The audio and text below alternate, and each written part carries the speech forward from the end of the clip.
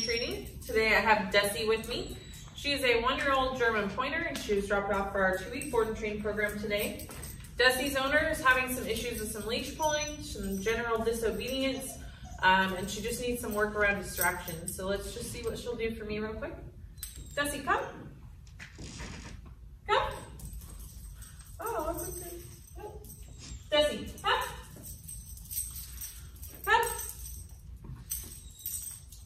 Desi, ¿eh? sit. Sit. Desi, down. Place. Place. Desi, you. You. You. Desi, you. All right, so as you can see, she doesn't know too much yet, check us back out in two weeks.